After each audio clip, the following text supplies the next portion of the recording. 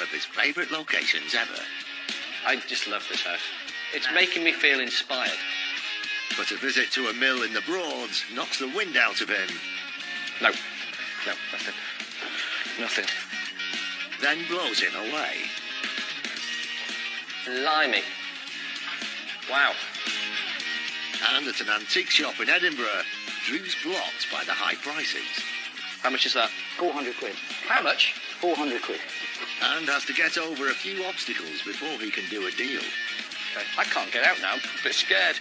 I can't get out of here. Drew Pritchard is one of Britain's leading decorative salvage dealers. Oh, wow. He's searching for weird and wonderful objects. That's fabulous. There's only one in the world. How do you value that? In his hunt for treasure, And what do you want for it? 12? he bargains hard. Eight and a half? And there's nothing he won't buy. Look at his little chaps. Look. With help from his wife Rebecca Lovely. Okay, so that's a sale. and a team of renovators, he transforms thousands of items from junk to gems.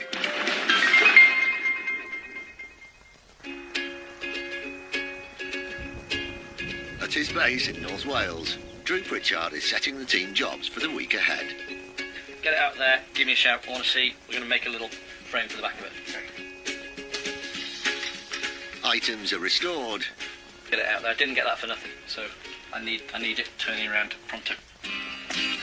It's then time for Drew and T to hit the road to search for more stock. They're off on a long journey of 260 miles across the UK, from Conwy to Norfolk. Drew's destination today is somewhere he's wanted to visit for years.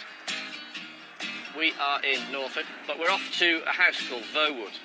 We're about to see a remarkable arts and crafts house. The, the house itself is out. Yes. Wow. Um, it's the real deal. Are you about to have a jolly good day there, Chris? I think so. I- I- it's one of those places that sort of you think, what on earth? Where, like it's been dropped from another planet. Really? Yeah. Drew, at favourite, favourite, period.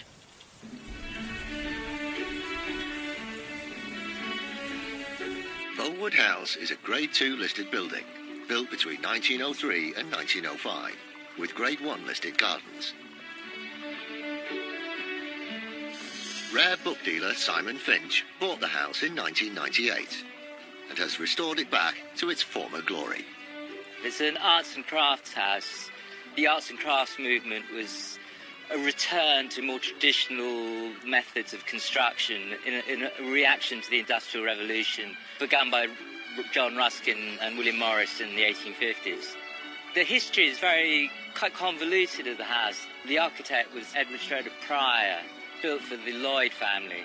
Moved in and it got rented out as a boys' school, then requisitioned in the First War, and then sold to the health authorities. When I bought it, it was an old people's home. I kind of just really fell in love with it, and how can you not? I mean, just look at it. It's um, it's, it's extraordinary.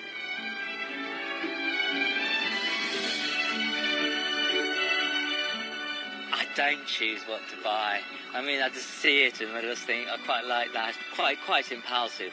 I mean, I just love buying objects. I always, I mean, a, I'm a rare book dealer, but you know, inevitably you'd come across stuff. I like buying bits of art off people I know, or just going somewhere and finding somewhere is a very such an enjoyable thing to do. Hey, how you doing? Hi, You all right? Dee. Good. Welcome. Thank you so much. I've read about this place, so it's really good to see it. It's amazing. Can we all go in? Come in, come in, come in. After you. Come Oh, thank you. I really hadn't intended to buy a big house in Norfolk. I mean, I didn't know. Well, I, yeah. just, I have. yeah. So, how long did it take to do this? Because it's a remarkable. The house looks stunning, beautiful. Um, it took it took about you know eight years. I mean, I'd, I'd end, endless. Te- I could have done it quicker. Yeah, yeah. This house is astonishing. At every single turn, inside, outside, underneath, it's incredible, and uh, it literally knocks your socks off. Oh, now you're talking. Look at this room. Yeah. Wonderful. Love the sort of art you're putting in here as well. It's It's great. Did you, did you, you've done this. So you've got that big frame. I got that big frame, and with my neighbour who Sam ca- casting moulds, cast, yeah. casting mould, We're now entering the central part of the building, and it's got this wonderful open double height hallway, and it's just lovely. You know, it's great. Again, it's sort of like a baronial, medieval dining room, which is exactly where the arts and crafts movement came from. It's got wonderful handmade Delft tiles around the chimney piece there as well. Beautiful oak floor, great big beams. It's got the lot. It's pure arts and crafts. Ooh, love that chair. Chair's fantastic. Gorgeous. Yeah. Scottish bobbin turn chair. Yeah. What date do you think that is, Drew? 'Cause I- 1880s. yeah, I think I think you're I think I think you're right. God, that's a belter. Mm. Love that. That's right up my street. Just gorgeous. Massive oversized bronze casters on it. Got a nice backrest. It's got really simple planks. Bobbin furniture is so called because of the series of bobbin or sewing spool shapes used to ornament the legs of chairs or tables. This chair could be worth around a thousand pounds. This chair is something I really want, so I'm going to go out on a limb. I reckon I can get 1,200 quid for it at a push. At a push. Um, so I'm going to offer eight. He'll come back to me a thousand, and I'll come out 200 quid profit. That's what I'd like to happen.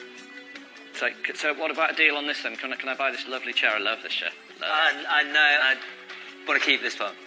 If you ever sell it, I'd really like to buy it. I It's one of those you- ones that just got me. And I'll just pay, you know, Yeah. more than anybody. More than okay. probably worth. I, I promise you that I will, and that. Thank you. I really, it's been a yeah. Thank you so much. gentleman to do. I got to leave. I got to walk away now. Oh, this uh, this room this room was two rooms when I bought it, and it was originally designated as a billiard room. I, I, I was naive about properties. I didn't realise how much work actually was involved. I just thought, I just thought, I just thought take down a few walls, put some paint up, you know, fill it full of stuff, and It'll look great. But it was it was a process, and it was mm. it was, and I had friends who came and did sort of artistic bits to it, and and I like just buying stuff. I mean, you know, I just like We look someone else like. I just love buying rubbish, you know. Just- That, that's the sort of thing that I'd buy. Yeah, very well, I much. mean, that's, that's, that's sort of that's Yeah, right yeah. up my street, actually. well, I mean, you can probably buy that if you're generous with me. Yeah, I will be. You will be. No. Yeah. Yeah. Oh, no, of course, you know, let's be hard about it. No, no, no, no, no. This Yeah. nice uh, little Rexine work chair. Yeah. It's not bent. It's not been welded. It's not been stripped. It's mint. It's the best one I've ever seen. This chair was made by Leabank. They were manufacturers of office furniture from the 1930s to the 1970s. Chairs like this could have a value of around £450. What's it going to cost me today? What would you like for it? Well, what are you gonna what are you gonna offer me for it then? Come on, just Two hundred quid. three hundred. It's yours. I can't. I'm not doing it for less.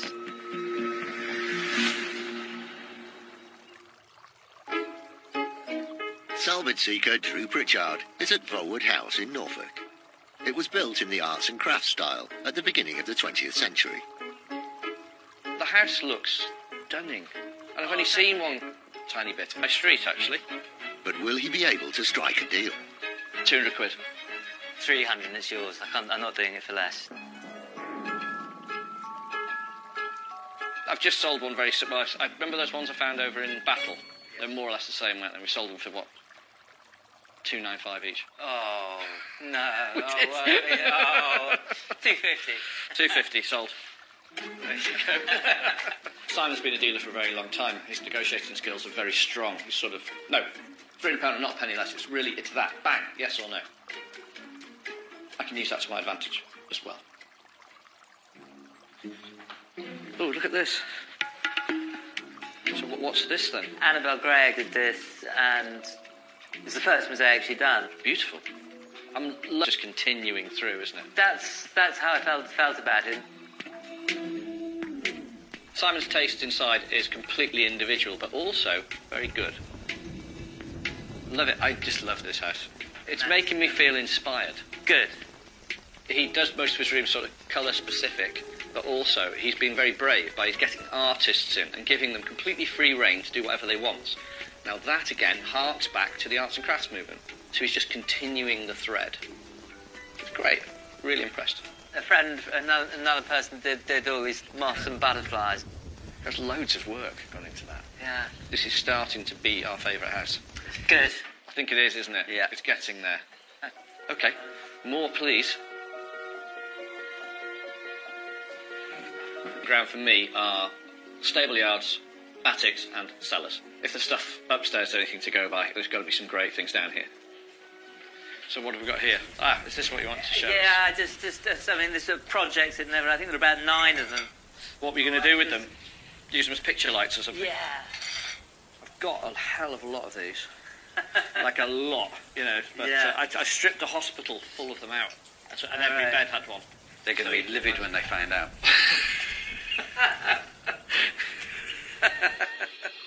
First thing we see is a load of machinists' lights, and these are all lying on the floor, and there's about nine or ten of them. What they make are great wall lights, but also great desk lights, and they- they fetch pretty good money as well. Once restored, these angle-poised factory lights could be worth around 200 Buy them all if the price was right, you know, but I'm not mad keen to own them. I'm sort of, Uh, 350 the lot. how much is that each? That sounds about right. Sold. So what I'm going to do now is I'm going to start asking the prices to Simon, and he comes up with £350 for the nine. Bites hand off. Done. I'll have those. They're going to cost a little bit to do, probably about 45 to 50 pounds each to restore them. So you know we're going to be less than 100 pound. They'll be on the floor. That's good business. So has this been the kitchen garden? This, Sometime? this was the kitchen garden, yeah. Whilst in the gardens, Simon shows Drew his latest project. So this is your haven. This is this is where I'm I'm trying to.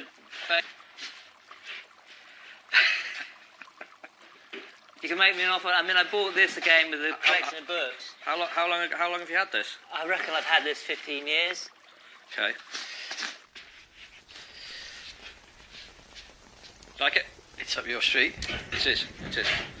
Charles and Ray Eames for Herman Miller, 1956. In this country, they were made under license as well. Yeah, so there's yeah. slight differences. Yeah.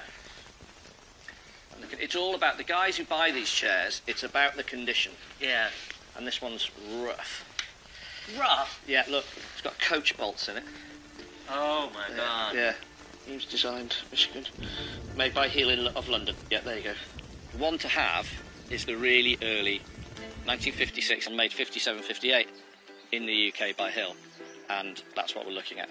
It's a design classic, it's right up there, it's top three. So to find an unrestored, really early, marked Eames with footstool, happy days. This lounge chair was designed by husband and wife team Charles and Ray Eames.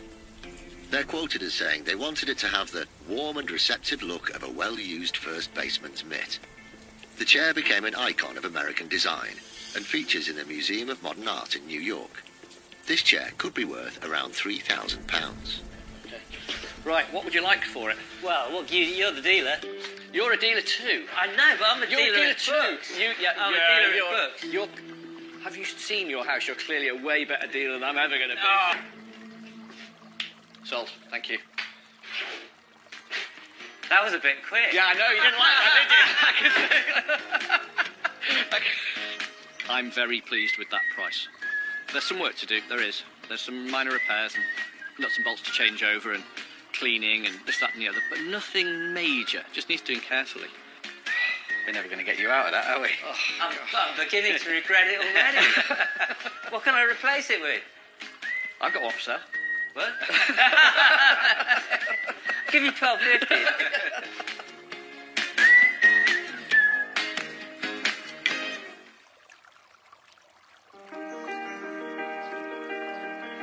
I've had a really lovely time. I mean, it's been great meeting Drew and T. For to have that kind of reaction and affirmation and warmth, it's been fabulous. It's been great fun. Today was exceptional. We've come to a mouth-watering house and bought some wonderful things. It's been a really interesting educational day. And clearly Simon has fallen head over heels for this place. And it's sort of a match made in heaven. I think the two of them are inseparable. I'm really glad he found it, you know. Everybody has a stroke of luck every now and again, and mine was today. I managed to buy an exceptional piece of modern design for a great price. I would have paid more. But hey, once again, dealer to dealer. That's the way it goes. All done, T. Yep. All in. Finished. Simon, a pleasure. Thank you so much for having us. Thank you very much. Astonishing. Have we been to a better house? It's right up there, isn't it? It's top five, isn't it? It's top. I, I think it's top three. Lots of boxes ticked for the right, right things. Absolutely astonishing house, just in the middle of nowhere.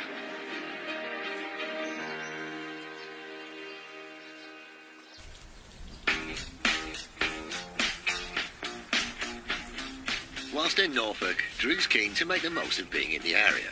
So the next day, the boys drive 26 miles south to the Norfolk Broads.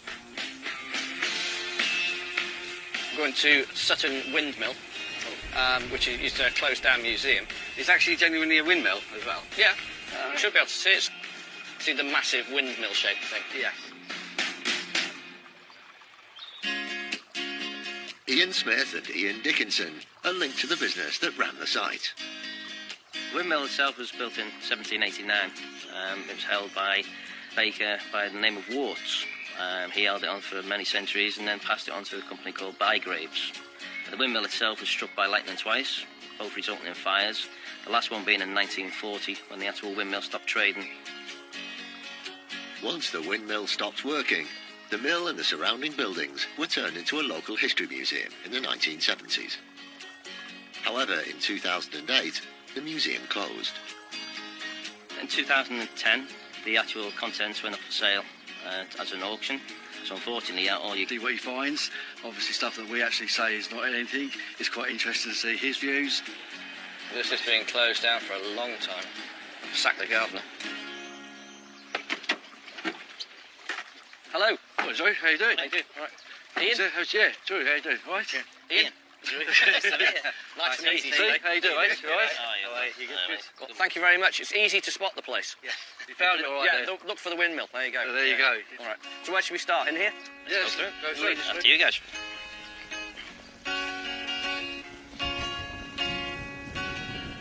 Ah, okay, I see. So this was the main museum, was it? This was the start of the museum, and in this one, this housed uh, an old-fashioned shop, a butcher's.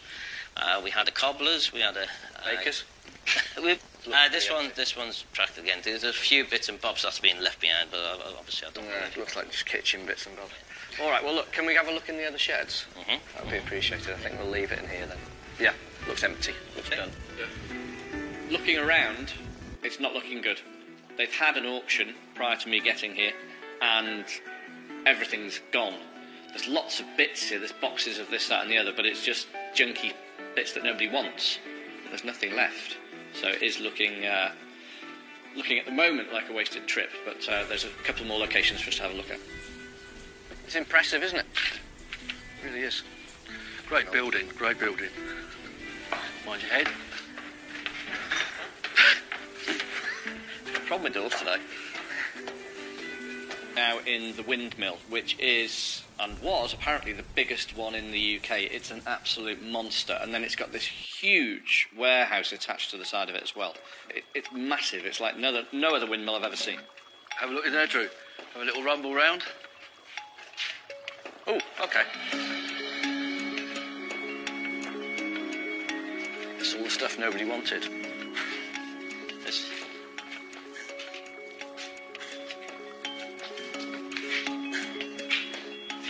Few bits and bobs that was left from the auction sales. Okay.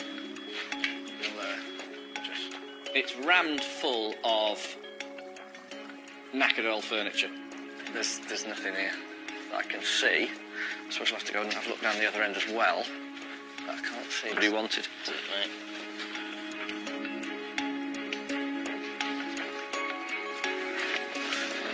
Okay. No.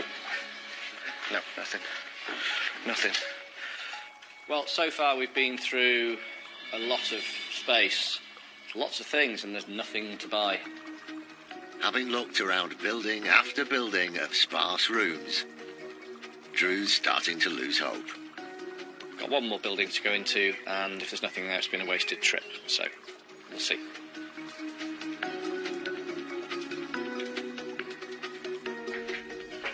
Blimey. Wow. Salvage hunter Drew Pritchard is at Sutton Windmill in the Norfolk Broads. Yeah. He's pinning all his hopes on the last room. Blimey. Wow. An entire chemist shop. Correct. Wow. Hmm. I've just walked into the final building and can't believe my luck. It's a complete Victorian mahogany chemist shop of really good quality. It's the best I've ever seen. It's absolutely outstanding and massive in scale. It's uh, quite a find.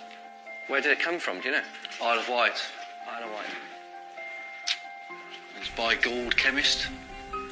This is one piece. Yeah, yep. It's, splits there. Yeah, it's a joint there as well.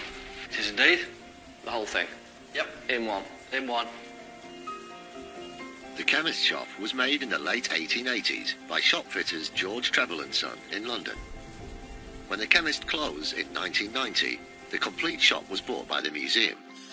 Sold as a complete set, it could be worth around £20,000. You don't want to split it up? No. Okay. And what do you want for it? 12.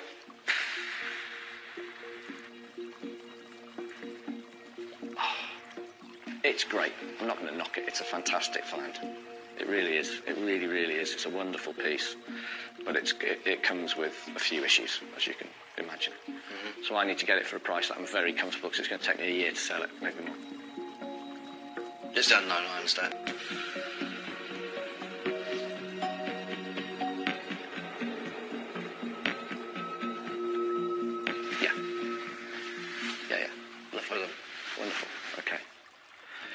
We need a bigger van.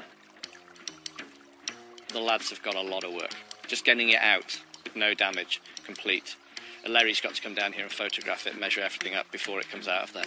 Um, so it's an expensive operation. The boy's going to be down here two and a half to three days easily. Uh, But I'm not complaining. A fantastic find. I'm over the moon being able to buy it. Oh my god. Look at that. It's Double cyanide. cyanide. Dear. That's the problem. Double cyanide, as if cyanide. That's even, you know, that'll properly kill you twice. what I'd love to happen was it to go to a collector in this country. That's what I'd love. I really would. And uh, if I could, I'd discount it a lot more to get it there.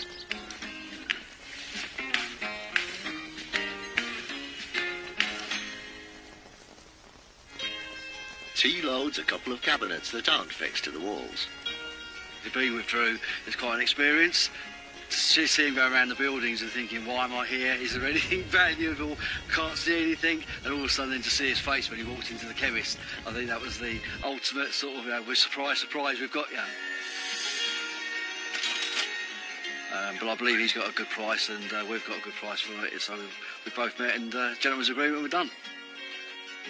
Today started off very quiet and then ended with a bang. We found something absent of any shop interior. It's just got it all. I am over the moon. Drew, thanks very much, mate. Glad I took you higher. Thank you so much. Right, T, thanks very so much. Cheers. mate. All the Thank best. you. As I say, Jenny, all the best, guys. Now, take care. Bye bye.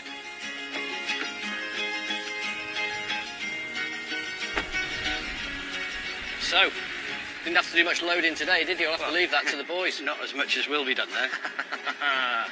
Superb. What a find. It's like Christmas. It was like Christmas.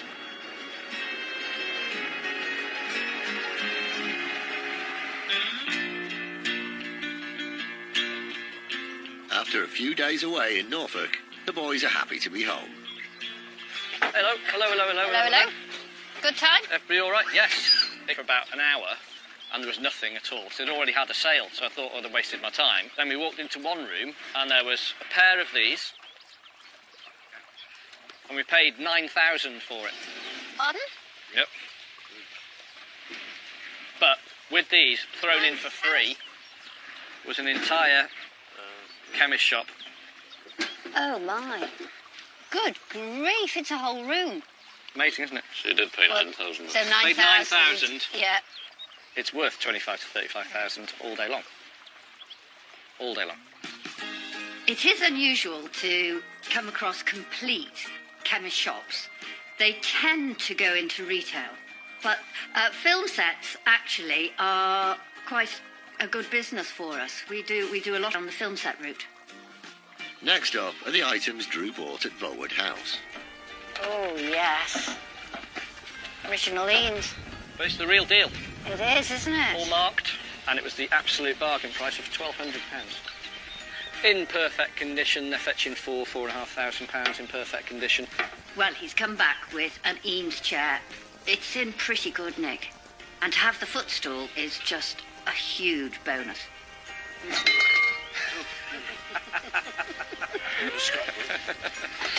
Three hundred and fifty quid, nine of them. What to find a sort of light graveyard? Three fifty for nine lamps. Perfect. It's our bread and butter. And then we got this, two fifty. We paid a lot for it. Uh, never seen it with that on, and it's mint. It's a rock, but there's hardly any profit in it. Ten minutes. Carl doing it, is he? Nice, isn't it? It is. While Gavin gives the chair a quick clean, Carl gets to work converting the wall lights into desk lamps. Firstly, he cleans and removes paint splatters. Downside to modifying old lights is sometimes you have to drill extra holes in them. The light fitting itself is earthed, but I need to make sure that the steel mounting plate is going on and the chassis is earthed as well, so it has to be safe. He drills a hole and adds a brass bolt, ready to be connected to the earth wire wires the lamp.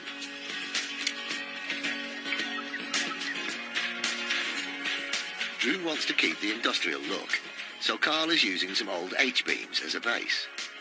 Basically what we're going to do is just, they're all very, very rough, they're dangerous, so we're going to use the um, polishing discs on the angle grinder, clean them all up and just make them safer. I love this bit, sparks flying everywhere.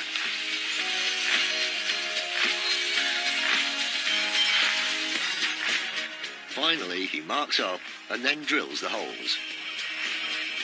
Ready to attach the lamp to its new base.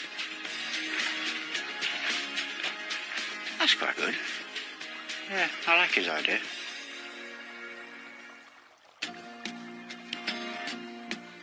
After spending over £10,000 in Norfolk, Drew's hoping to pick up some bargains in the Scottish capital.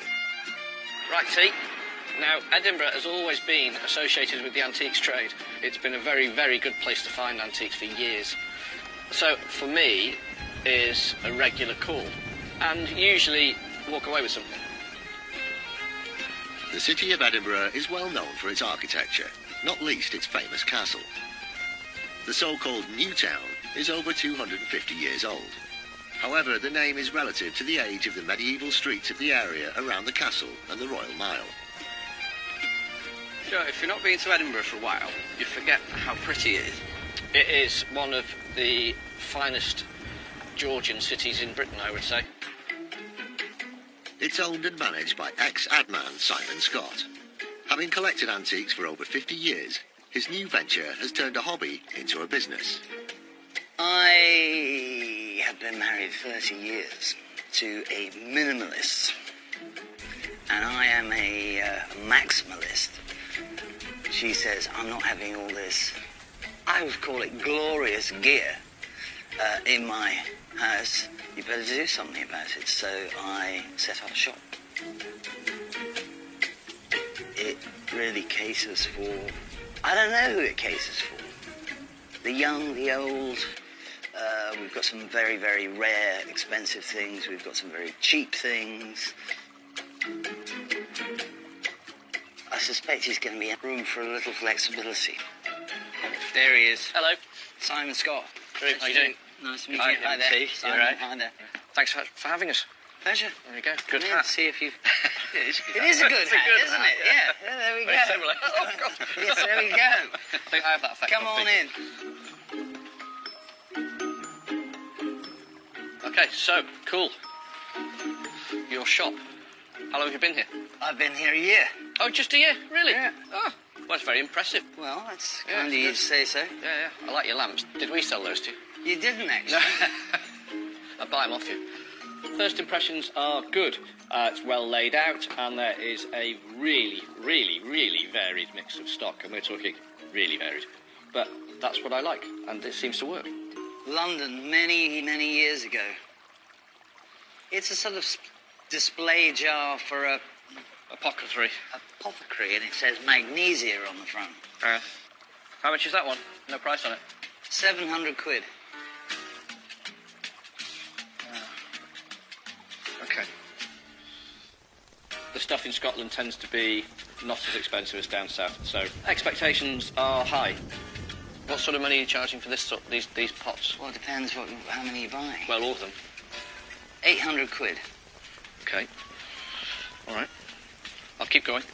As I'm going round, remember this is dealer now, trade to trade. Gloves are off, so if the price is right, you'll buy it. If you, if you don't say anything, just walk away. How much is that? 400 quid. How much? Collected. Can we go through here? Of course. Yeah. Drew heads to a back room. Um, odd question. That uh, workbench there It's the workbench. Doesn't have to be. It doesn't have to be, but it is at the moment. I go through to the sort of back part, the warehouse, and they've got a little workshop, and in the corner of the workshop is a painted work table. This could have come out of a factory. Judging by the handles on it, it did, but it also could have come out of an industrial kitchen from a school or something like that. It's a very, very good retail low table. You know, if you walk into some of these shops that have loads of jumpers and jeans and that type of thing, this is the sort of thing that they're looking for. So if it's cheap enough, I can buy it. Around £600. What are you offering me on it?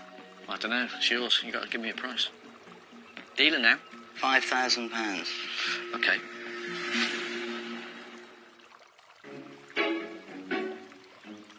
Decorative salvage expert Drew Pritchard is in Edinburgh at Antiques Emporium Wow. Having been priced out of the showroom, How much? 400 quid. he's hoping to do a deal on a workbench out the back. What are you offering me on it? I don't know. It's yours. You've got to give me a price. Dealer now. £5,000. pounds. Okay. that means you just don't want to sell it. Well,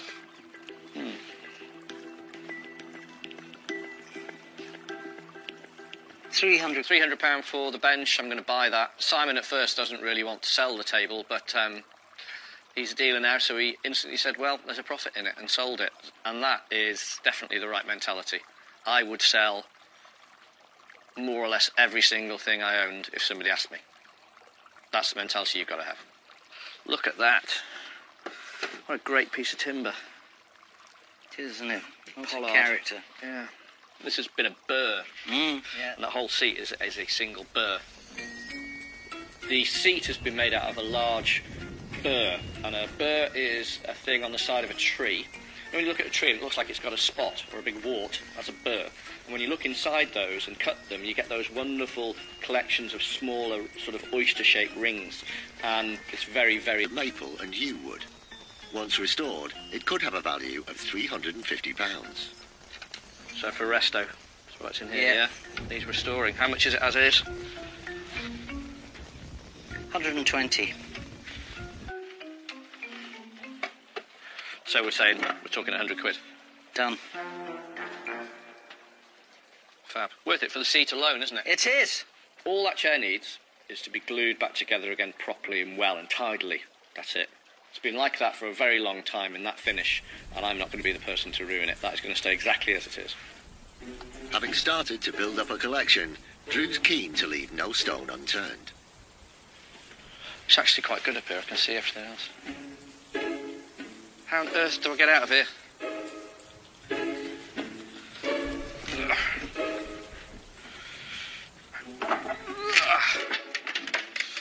Okay. Yeah, I wouldn't mind a, a look at those chairs in there. Can you pull that out, T? Yeah. His and hers. That's sort of why why they are that size, to be honest with you. They're very, very. I mean, look, I know. they're difficult. Yeah. But I mean, I'm not the biggest person in the world, but also I'm, I'm not a midget. And look at that. look at the colour on. It's disgusting, isn't it? No, I'm not talking about this. I'm not talking about this. I'm talking about the quality of the wood. They look awful. Looks like somebody's been sick on it. It's just foul. And God knows who picked a colour like that. But what I like about them is they're odd. They're of huge proportion. Watch are a good car, a quality item, well made. That's those. This pair of his and hers open armchairs date from the 1860s. Once restored and recovered, they could be worth around £900. What's the real price on them? Because they're tucked at the back of your warehouse. I've got a feeling you bought them, couldn't flog them, and got sick of them, and thrown them in the back here. Am I right? It's almost like being a psychotherapist. talking to you. it is. That's You know, what's happening. I have made a lot of mistakes in my life. Hey, we all do. Hey, I, I, Drew, I, I buying mean, them my you know, next thing I'm- could be another I'm, mistake. I'm here to have some mistakes pointed out, not to leave emotionally quadriplegic. How much are they really? To you, Yeah. To you, 700 quid. Fine, sold. Done. There you go. Thank you. That wasn't too bad. It wasn't too good either. Have you made a profit? a modest one. No, ah, that's it. That's it. You're done. That's, That's it. what we That's do. the secret of life. That's it. I think if I can strip all that fabric off them, get down to the bare bones, so you can really see what's there, and I can sell them like that. Or what I'm probably going to do, which is ring up a mate in the trade, say I've got a good pair of chairs, can you give me six fifty for them? That's the reality. That's what's really going to happen with them. This is when you find original William Morris. No, that isn't the that isn't original fabric. If you look in there, Yeah. see that? Yeah. It's a staple. Yeah. So that's not. So you've got to Yeah. go lower than that again now. It's crazy, isn't it? You buy something for 550 quid, then cut it up with a knife. I found him very straightforward. I found him very uh, clear about what he liked and what he didn't like. I found him extremely tight on the prices he offered, but that's business. That's what you do. I learned a lot from him, and uh, it was a real privilege to have him in the shop, and I hope he comes again. Simon is a new dealer. He's only a year into it, but he's not daft. He buys what he likes, and that's really good. He's very brave, and that's the mark of a good dealer, actually. Tea? Yeah, done? Yeah, all in. Thank you very much. A very enjoyable day. It has been a It's very been a good laugh, enjoyable day. I've Very learned good. a lot. Thank you very much. Thank very you. nice to great meet you. day. So Simon's a very pleasant chap. He was very nice. Good choice in headwear. Same hairstyle as well. I was going to give you that nice chair. You're not having it now.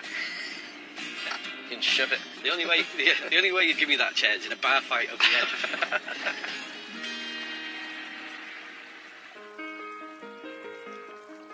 After a long drive home, the team are put straight to work. The table is given a tidy up and then photographed for the website, modelled by Drew's glamorous assistant, while Gavin strengthens the joints of the comb-back chair using PVA glue. This is a five minute glue, but it's better to leave it overnight, really. It will stick in five minutes, but leave it overnight and you're guaranteed then. It's then sold straight away to an interior designer in California. From Voewood House, the industrial chair has sold to a dealer in Hong Kong. And in Norfolk, Carl, Gavin and Hilary have been dispatched to collect the chemist shop from Sutton Windmill. Before any dismantling can begin, Hilary photographs the room so the future buyer can see it in its original layout. Drew's asked me to photograph it in situ. It was probably easier in some ways for me to drive all the way out to Norfolk and um, photograph it here than it would be to try and reassemble it all back at base camp. Photo shoot over, the boys set about painstakingly taking apart the cabinet.